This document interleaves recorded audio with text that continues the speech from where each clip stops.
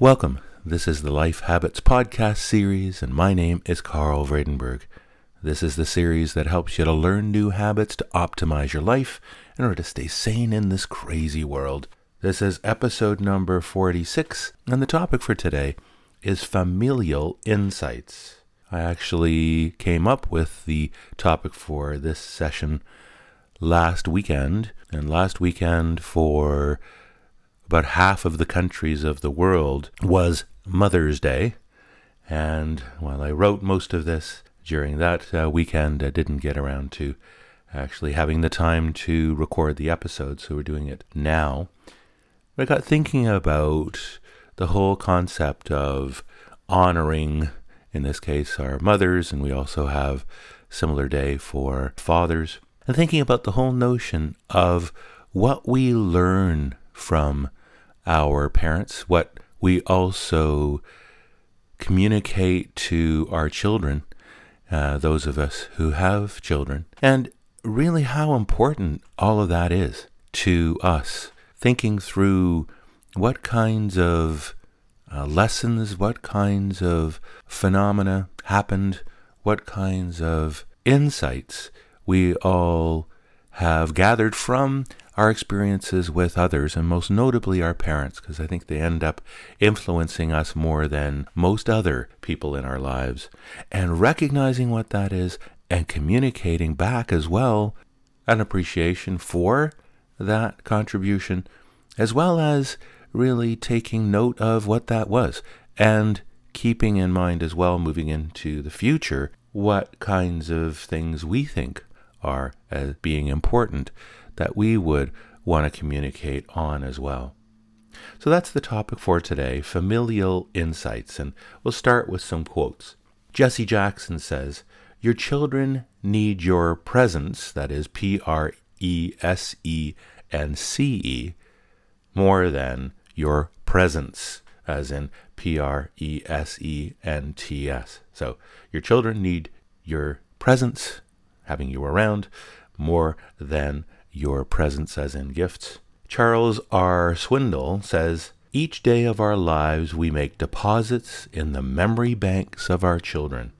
Haim Ginott says, If you want your children to improve, let them overhear the nice things you say about them to others. Chuck Palahniuk says, Your folks are like God because you want to know they're out there and you want them to approve your life. Still, you only call on them when you're in a crisis and need something. Abraham Lincoln said, All that I am or ever hope to be, I owe to my angel mother. Orlando A. Battista said, The best inheritance a parent can give his children is a few minutes of his time each day. Paul Smalley says, Children desperately need to know and to hear in ways they understand and remember that they're loved and valued by mom and dad. So, some ideas there on people's perceptions of the importance of a linkage between parents and children, and then in turn, those children, when they uh, grow up, as influence on their children as well and how important that uh, really is. So I've put together a top 10 list as I usually do. And the first one is to take a moment to think about your parents and what influence they had on you, and actually capture some of those thoughts by writing them down. Now, they may well have had positive influences where it's really clear that here are the five major themes of what your mother or father really gave to you as key life lessons, as themes that you still carry on in your life as well. There are other types of things that you may well have learned sort of as a negative, where they may have done something in a particular way that may well have, in fact, annoyed you and made you think, you know, I'm not going to do it that way. I'm going to do it completely the opposite because I think that's the best way to be. But either the positive or the negative sort of contribution here, I think is significant because you did, in fact, get that information from them and you learned the way that you now approach those situations based on that information. Number two is to think about your kids, if you have them, nieces, nephews, or other kids that you're close to, and consider what they mean to you. What kinds of things are you conveying to them? What do you have as being really important that you think they should glean from you? And no matter what age you are, you're going to be dealing with people who are younger than you. And what kinds of things are you conveying to them? That's really, really key. Number three is to take note of the ways parents, kids, and others have contributed to who you are today. So we came up with the number one was the notion of the themes that your parents did or conveyed to you, both the positive and the negative. We talked about the ways in which you're also contributing to others. So take note now of how all of that comes together into what you are today, the kind of person that you are. You'll be amazed when you really do this analysis to see how much you are actually influenced in the way that you are, in both positive and negative ways, in the way that you were either influenced by your parents or even the way that you're communicating to others in terms of what you are today. Number four is to think about the last time you expressed appreciation to the others in your life in terms of what it is that they contributed to you. And this is both to parents and kids, whichever form, whether they're your own or others that you're close to. But most importantly, I think, is if your parents are still around, if you still have parents, uh, one or the other, I think it's really a good idea to think through and identify a way of capturing uh, what they contributed to you. And, and number five is to make a plan to communicate your thoughts to your parents and relevant kids. And we often leave that too late. You know, we think about it ourselves, as one of the quotes says. We may say it to others, but we typically don't say it to the people who are most important in this regard. You know, your parents that actually imbued you with the ideas and themes and the like that have made you what you are today. We give you know, birthday cards, we give Mother's Day cards and Father's Day cards with their pre written messages in them. And that's easy. It's also very generic. And what I think you may want to consider, there's no need to absolutely do this, but if you think it valuable, I think it's actually important to capture these thoughts that I've just been describing, write them down, think about the way that you should communicate this. Uh, I did this the other day to my mother, and while I talk to her regularly, actually going through the list of items with some thoughtfulness of what she really did that contributed to who I am today, acknowledging and thanking her for that really generated a significant reaction from somebody who doesn't normally, you know, react that strongly to these types of situations, she really did strong, strongly rea- react and was very, very, very appreciative of hearing that. And I thought for some time that I had basically communicated that in various ways, somewhat, you know, uh, not as obvious ways perhaps in the past. But I, I, I hadn't. I really hadn't been really specific about what it was that she contributed to what I am today and, and really communicating that clearly. So, number six is to capture your thoughts regarding your parents in a written form or possibly even in an audio video form as well, and give it to them. So, uh, the form that I used was just to describe, uh, as I mentioned a minute ago, the the actual you know contributions and and talk to my mother about it in a telephone conversation. But think about what might be the most way, most effective way of doing it. You know, you might also even want to, you know, write it in a song if you're so inclined or have that talent. You might want to write it in a in a poem. Uh, you may you know, want to just uh, record it in a video uh, that you send to them if they're not that close Uh, to you distance wise. think about what might be the best way to provide that information, you know, back to them and think about, you know, what they're like. What would they most appreciate? You know, it might be the case that just having the phone conversation, as I had, may not be sufficient. Might be a really nice thing to do to actually record it and have it so they could play it again if they wanted. They may well cherish this uh, and want to play it uh, multiple times. So you may want to actually capture it in audio or video form. Number seven is a little different, and that is to capture your parents' stories, insights, and life lessons in a written or uh, in audio video form for you and for your kids' benefit. I did this a little while ago as well. You know, you have this uh, experience within families of key stories that your parents have told over the years that have a you know a moral or have a particular lesson uh, in them. Those are generally just handed down verbally. You know, people keep telling those stories. Some of those stories really get lost, and some of them are really important in order to really keep those and even keep the linkage between, for example, you know, your parents and if you have kids or will have kids in the future, making a linkage there, uh, especially given the fact that the bo- both of them may not be around uh, forever, and so uh, you want to capture these thoughts. So it may well be again to take those stories, the stories of you know what life was like uh, earlier on when you were a kid, let's say, and some of the things that really were life changing or just uh, interesting and insightful that happened earlier on, to capture those, like I say, in written or audio video form, and then uh, share those uh, and have them to be able to uh, play over and over again as well whenever uh, someone may want to. I find that it was a really useful exercise to go through, and one that I think is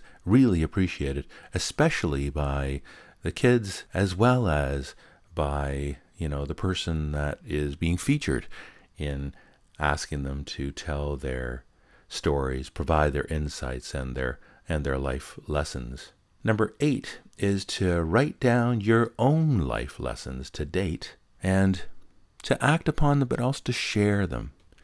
So, this is something that I've also done recently again. I do it on a regular basis of capturing the hmm, maybe 10, 15, 20 of the key insights that thus far in life I've gleaned, I've developed, and to actually think about them, write them down in a form that you would communicate both to yourself to remind yourself that these are things that you think are important and what you've learned, but also so that you can make them available to your kids and others in terms of what you thus far have learned. So, no matter what stage of life you're at, I've uh, spoken to teenagers about this topic before, and they too have developed some level of life lessons and things that they've learned that some of the time you would have done differently, or you're really glad that you did things in a particular way, or the way that you did something just gave you some insight that you yourself want to make sure you remember for future instances when you get into a similar situation. It also may be information that is useful for others as well. And here again, it's capturing it, it's actually taking the time to reflect on it, and then uh, provide it in some appropriate form again whether it's in a written form whether it's a you know live audio form in terms of on a phone call or just in a visit or in a captured audio and video form that you can play over and over again in the future number 9 is to think about what you'd like to be appreciated for and then act upon that this is the same kind of thinking now now you've talked about the life lessons and some of those are positive, some of them are negative. And then you want to highlight the things that are in that list that you say, you know what?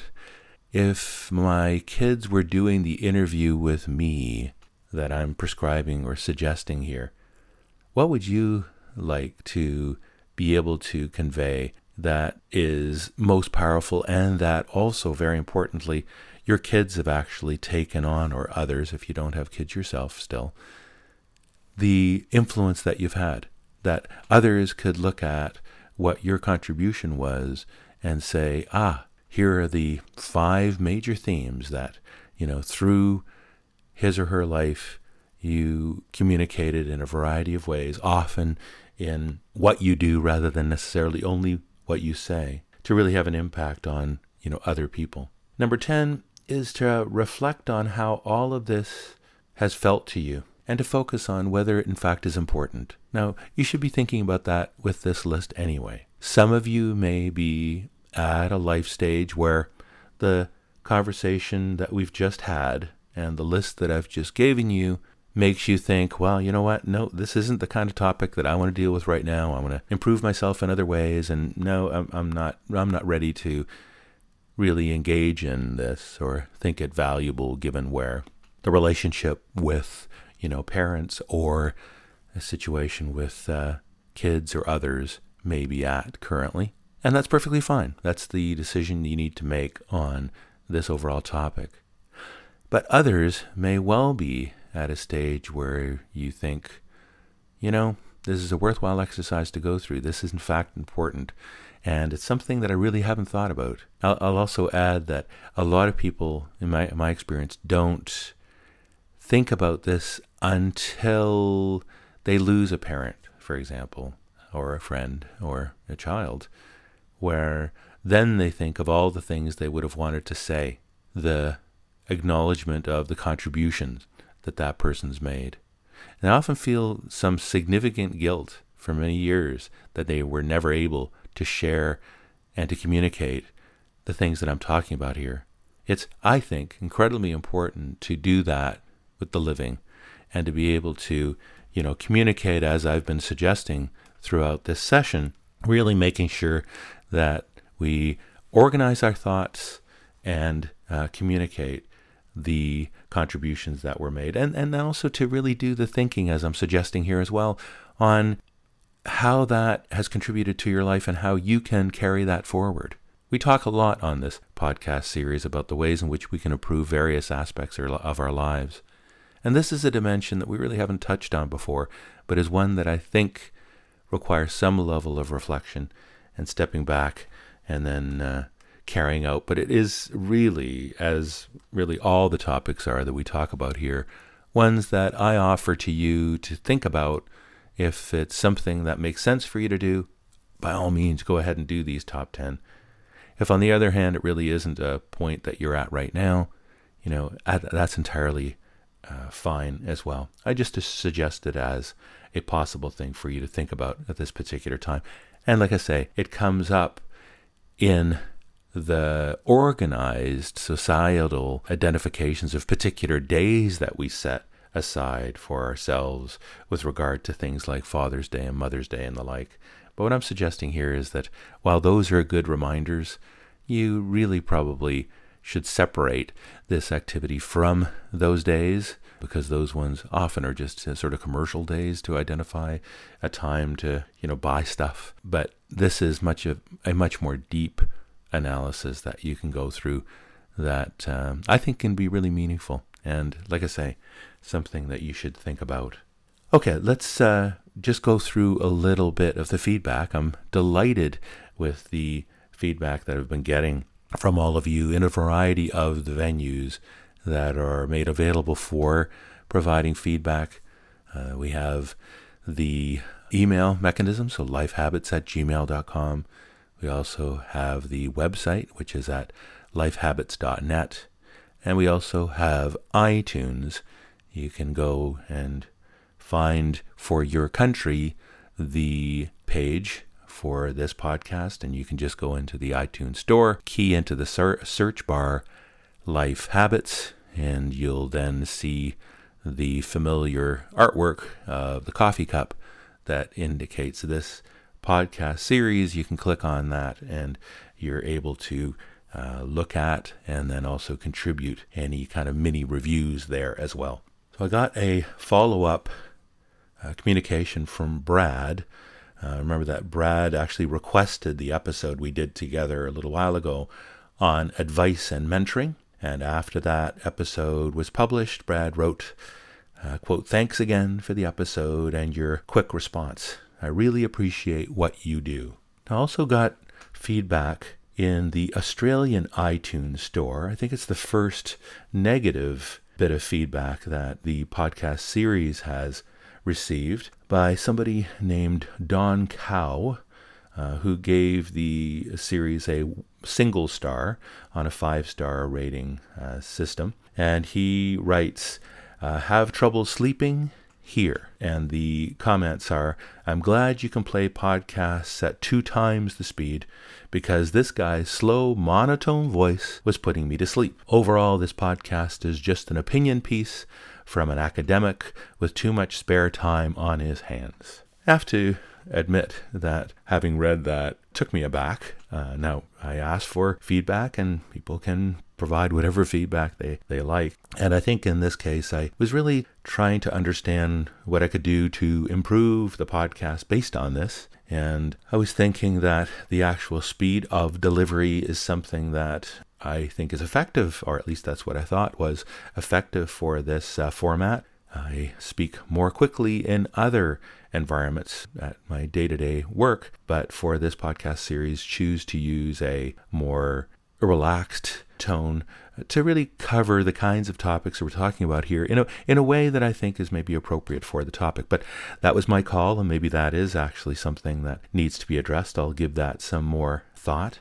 I get a lot of feedback from many of you saying that you appreciate the uh, the, the, the way that uh, the delivery is handled here, but I'll give that some more uh, thought here. Also, the comment that uh, it's an opinion piece from an academic with too much uh, spare time on his hands. I, you know, as you know, while I've got a lot of academic background, I am not actually an acad- academic day to day. I work in a large corporation and actually have very little time, and I apologize for the delay in getting you this episode. Things have been very busy at work lately, and I uh, haven't had the time to uh, prepare and then record this uh, session, uh, even though I really try to keep on a regular cadence, as you know, with delivering these to you. So I don't know what, uh, in terms of feedback here, I can do with regard to this particular item. We try to base the kinds of things we talk about here, where relevant, on any scientific basis and at other times uh, these are uh, suggestions and ideas from uh, my own life as well as from that background, as well as based on my interactions with others as well. So, so a fairly negative uh, review. Would appreciate any thoughts any of you may have on the feedback that this particular listener uh, gave um, in terms of how I may well be able to improve based on this feedback. But I'm, I'm having a difficult time seeing this as something that I can take to heart and approve upon. Uh, but if you're still happening to be listening, Don Cow, please send me an email at uh, lifehabits at gmail.com in terms of any specific suggestions you might have for further improving here as well. Anyway, thanks still though for providing feedback, whether positive or negative. The next bit of feedback came on the website. Uh, Marie Eve wrote, I love your podcast episodes. Your voice tone and rhythm make it uh, so easy to listen to. Plus, I really learn well from the content that you put out. Do you know if there is any French equivalent to your podcast? Of course, it would not be the same, but have you heard about a francophone podcast that would treat similar subjects on a professional manner as you do it so well? So I did ask uh, whether there was uh, a French sort of version of this type of podcast available. I asked uh, Marie Jose Salvachar, as you know, uh, who's an occasional guest host on this podcast series as well, and she wasn't aware of any. But I'd like to ask any of you if any of you know of a podcast like this one that is available in French. I'd really appreciate it if you could email me at lifehabits at gmail.com and I'll then pass that information on to Marie Eve as well. Lastly, I had some feedback from Carol, who wrote, I can't agree more with the last comment from Marie Eve. Your mentoring advice is the best podcast I have ever come across. I look forward to your future comments and will continue to listen to past episodes too. Can't thank you enough for taking the time to share your ideas with us. I've posted a link to your website on my Facebook page as well. So, Carol, thanks so much for the, that comment, and uh, Marie Eve as well, Brad, and also Don Cow for the feedback you've provided. I really find it useful to get feedback from you, uh, any suggestions you may have as well with regard to podcast topics, as you know. Use any of the mechanisms that we have available to provide that, and as uh, Carol suggested that she had done as well, certainly make the information about this podcast available to your friends in whatever manner you feel appropriate to if you think that is warranted. So, with that, uh, that's sort of the topic for uh, today. Uh, I hope that this uh, topic is one that you'll give some thought to. I certainly had recently myself, and so this is sharing sort of my personal experience with having done this recently, and I did find it really valuable to do, and I intend to continue to do this, you know, myself as well. So that's why I wanted to provide the suggestion here. Let me know how that goes for you. We'll see whether we can uh, share some of those experiences in future uh, podcasts as well if you send me any of the feedback that you may have on this one with regard to the particular topic as well. So that's it for this particular installment. Thanks ever so much for listening. We'll talk to you next time, and bye for now.